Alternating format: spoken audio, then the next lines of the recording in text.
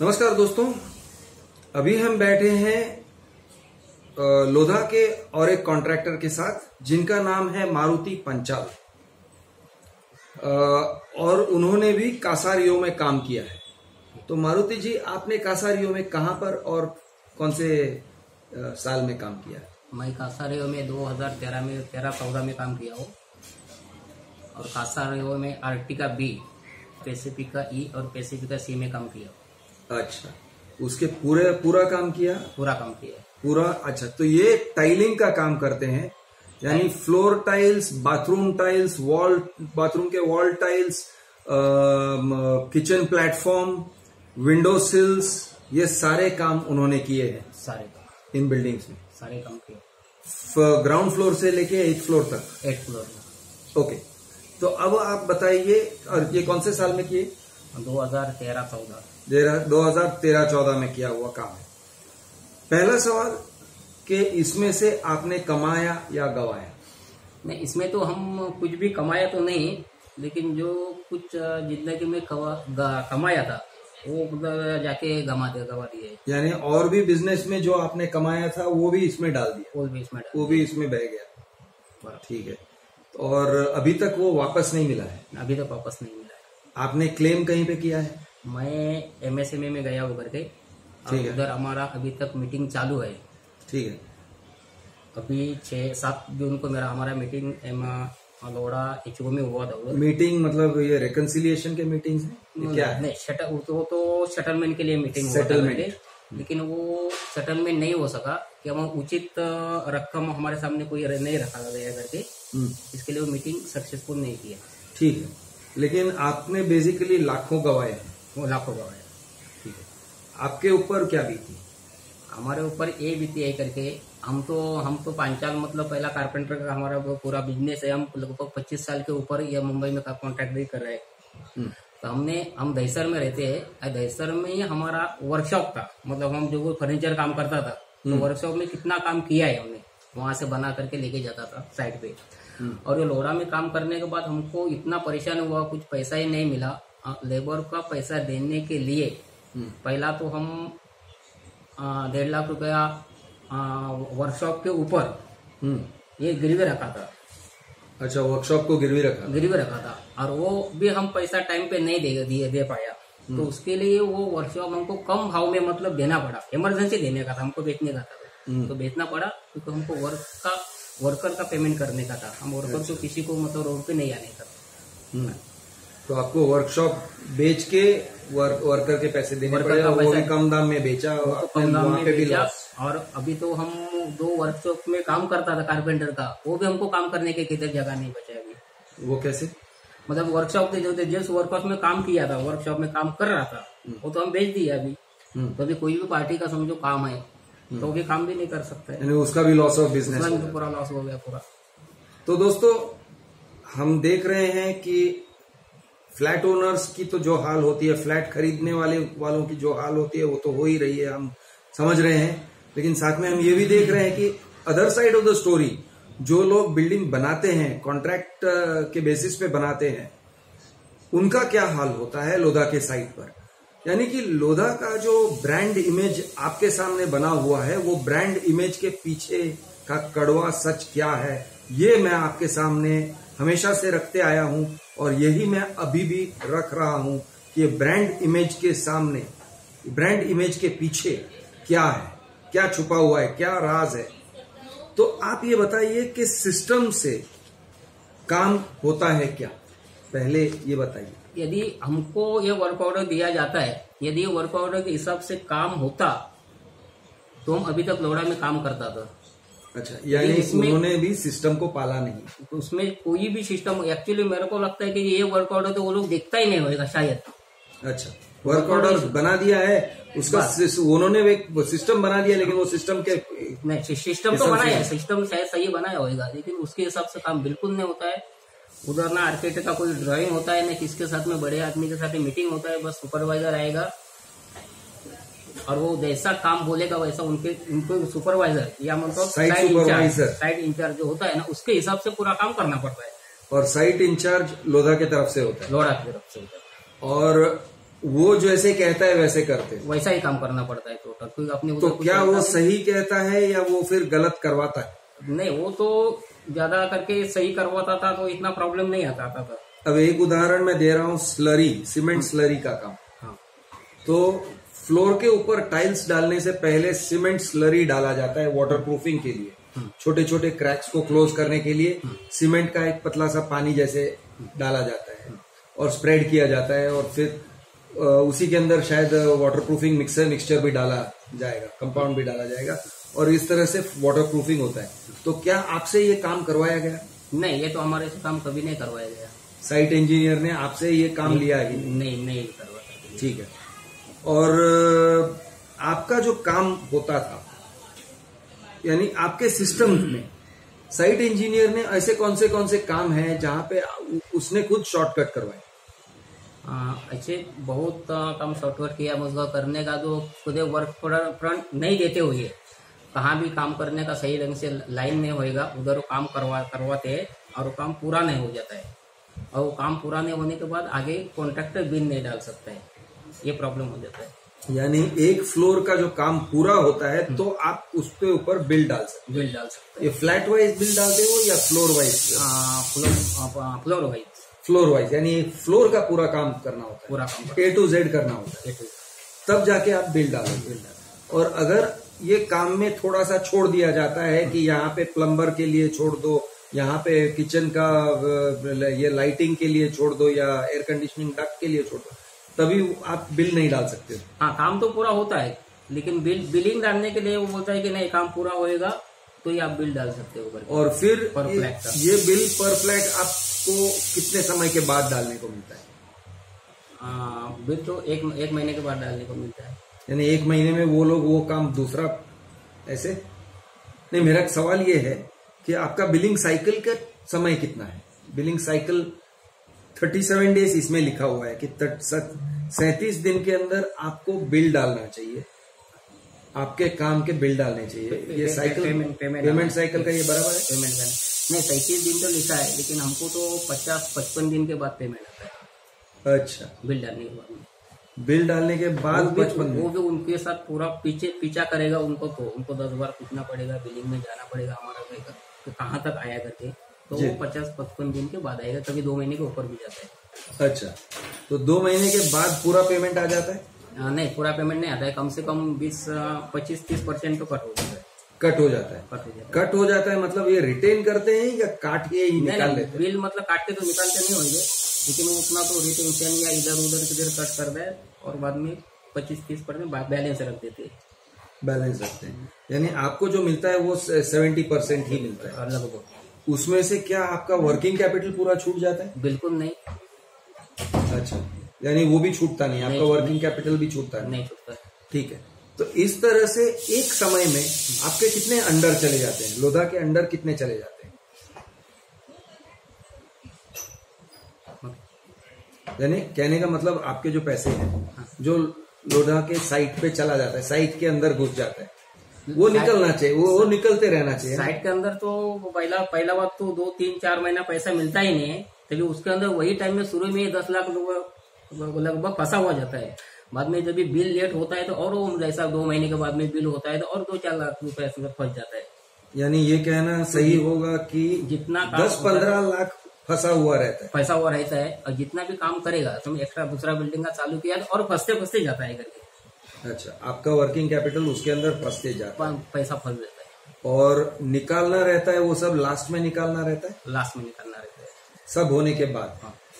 अच्छा अब ये सब होने के बाद निकालने के चक्कर में क्या होता है? उसकी उसकी उसका सिस्टम क्या है? उसमें आपका अनुभव क्या है? सब सब निकाल के निकालने के लिए जो कुछ पेपर वर्क कंप्लीट होना चाहिए करना चाहिए वो उधर से आ, जो साइड साइड सुपरवाइजर को चाहिए वो सिग्नेचर वगैरह नहीं करवा करके देते हैं टाइम पे इसके लिए प्रॉब्लम हो जाता है। अच्छा वो अच्छा सुपरवाइजर काम करके देना चाहिए। हाँ supervisor side engineer site engineer bill pass करना चाहिए यूँ? करवाना बिल पास करके अकाउंट्स डिपार्टमेंट में डालने चाहिए। देना चाहिए तो उनका मेन काम है करके वही उसका जब तक उनका सिग्नेचर नहीं होता है तभी तक हम बिलिंग में नहीं जा सकते। बिलिंग में बिलिंग नहीं लेता है। हाँ यानी आपने बिल दे दिया। हाँ। लेकिन वो बिल साइट सुपरवाइजर तक अटका रहा। सुपरवाइजर का अटका रहता है। वो बिलिंग में नहीं पहुँचता। नहीं पहुँचता। और बिलिंग में कब पहुंचेगा? बिलिंग मतलब अकाउंट्स डिपार्टमेंट में कब पहुंचेगा? अकाउंट में जब तक तो वो सिग्नेचर नहीं करवाते तब तक नहीं पहुँचता है। मतलब वो बिल हमारा वहाँ का वहीं रुक जाता है उनके ही डिपार्टमेंट में रुक जाता है। जिधर हम काम करता है हाँ। वही उधर ही बिल रुक जाता है। ओके। आगे पहुँचता ही नहीं। राइट तो वो तो कहेंगे कि आपका काम पूरा नहीं हुआ वगैरह वगैरह। नहीं काम पूरा हुआ जैसा मैंने बोला करके काम तो पूरा होता है लेकिन उनके तरफ़ से कोई रिकन होता है साइड बराबर लाइन नहीं मिलना तो काम तो कुछ पूरा तो हो जाता है। अच्छा।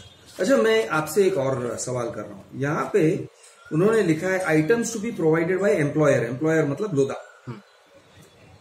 Water and electricity required for construction shall be supplied by employer at one common point on every floor free of cost यानी आपको बिजली और पानी हर एक फ्लोर पर दिया जाता है फ्री ऑफ़ कॉस्ट नहीं हर एक बिल्डिंग में दिया जाता है लेकिन हर हर एक फ्लोर पे नहीं दिया जाता है।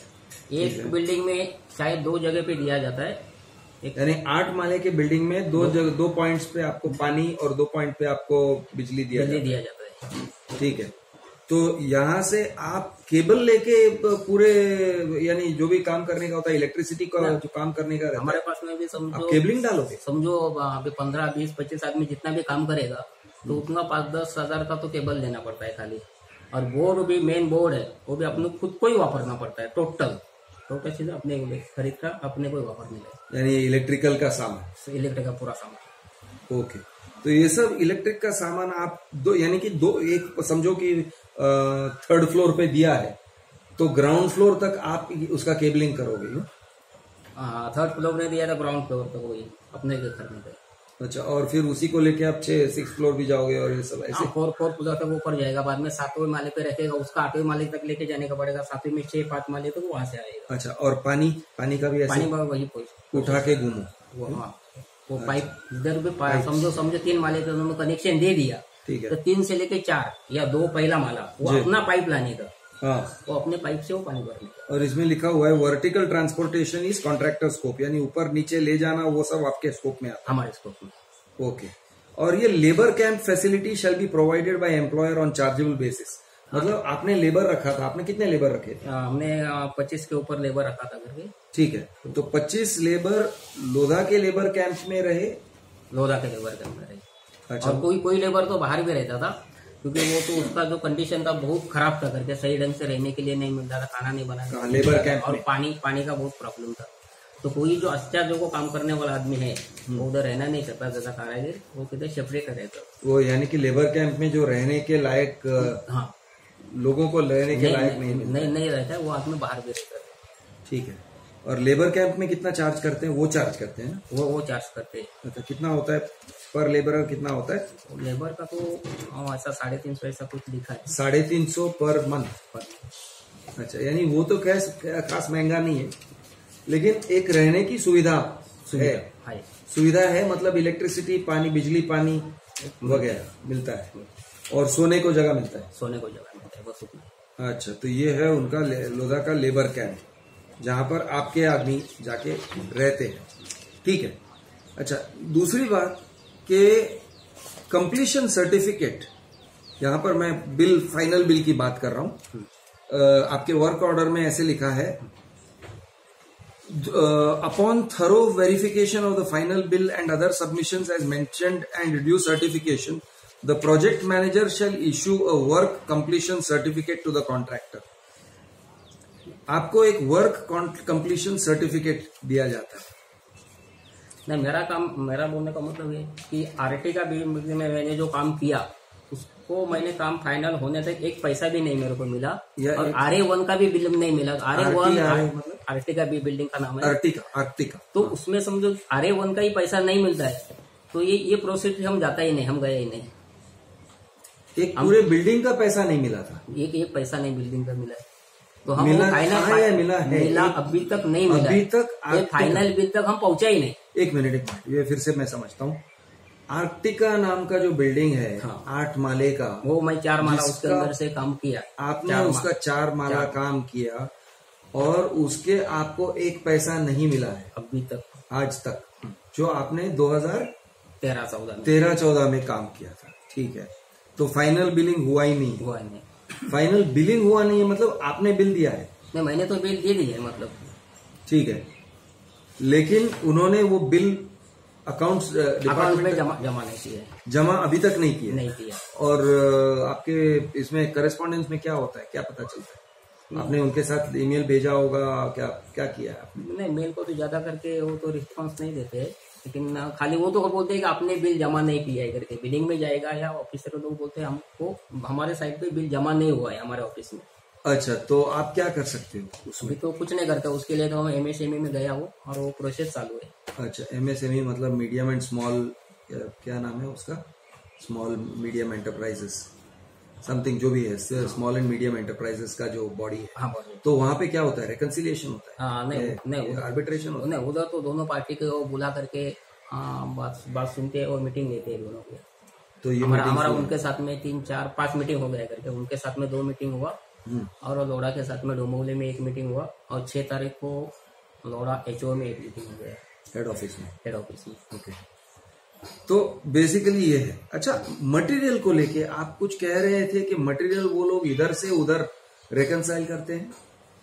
मटेरियल तो रिकन- वो तो करते करते ही साइट एक साइट के ऊपर से दूसरे कॉन्ट्रैक्टर के साइट से सामान लिया जाता है रिकनसाइल करने में ऐसा सब शॉर्टेज हुआ तो। नहीं समझो अभी ये ये बिल्डिंग में हम काम कर रहे हैं। हमारा काम थोड़ा के लिए रुका है मतलब दस परसेंट मेरे को मटेरियल कंपनी पड़ रहा है करके। तो तो मटेरियल लाने का कौन सा? मटेरियल तो उनका है। तो वही सुपरवाइजर बताएगा कि वो बाजू वाले बिल्डिंग में मटेरियल है। हम्म, वो बाद में जो बताते हैं उसको बाद में उठा करके हमारा लेबर लोग लेके आते हैं। जाओ लेके आओ। और वो काम पूरा करना पड़ता है। साइट सुपरवाइजर ये कहेगा कि बाजू के बिल्डिंग से मटेरियल लेके आओ जो आपका साइट नहीं हमने अपना साइड नहीं है उधर। अच्छा इसका मतलब कि वो वो शॉर्टेज अब दूसरे कॉन्ट्रैक्टर को होने वाला है। हाँ बराबर। और वो उसके वेस्टेज में गिना जाएगा और उसको डेबिट नोट मिलेगा या उसको फटका पड़ने की पूरी संभावना है। बराबर। है, उसको नहीं बताया जाता। नहीं बताया जाता है। तो साइट के ऊपर ये सारी चीज़ें होती है।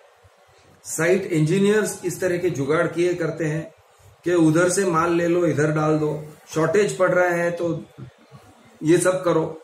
अब ये सब करने से क्या होता है कि जो दूसरा जो कॉन्ट्रैक्टर है उसका लॉस हो जाता है। तो इस तरह से लोधा के साइट पर काम हो रहा है। हमें यही बताना था। अच्छा अब और कुछ आप ये कह रहे थे कि आपने भी देखा है कुछ और कॉन्ट्रैक्टर्स की हालत खराब हो गई है। तो आपके बिरादरी के बारे में आप क्या कहना चाहोगे, जो वहाँ पे काम करते हैं? आपके बिरादरी वालों को क्या कहना चाहोगे? कॉन्ट्रैक्टर लोगों को। कॉन्ट्रैक्टर जैसा हम हमारे जैसे बहुत लोग करके ऐसे ही पैसे फंसाए कोई पैसा तो मेरे को नहीं लगता है कि कोई आदमी उधर से कमा करके गया है करके।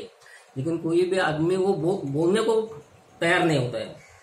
अच्छा बोलने को तैयार नहीं। लोड़ा नाम बोलेगा तो कोई बोलने को तैयार नहीं होता है। हम्म, डर है। डर है। हमको भी बहुत डर डर है इसके लिए तो पाँच साल हम गया खाली हम एम में गया तो भी हमको कुछ मालूम पड़ा कि कुछ ना कुछ तो पैसा निकलेगा करके। नहीं तो हम तो इतने तक कुछ नहीं किया। इतने साल से आप बैठे डर के ही बैठे हुए। डर के ही बैठा है ना।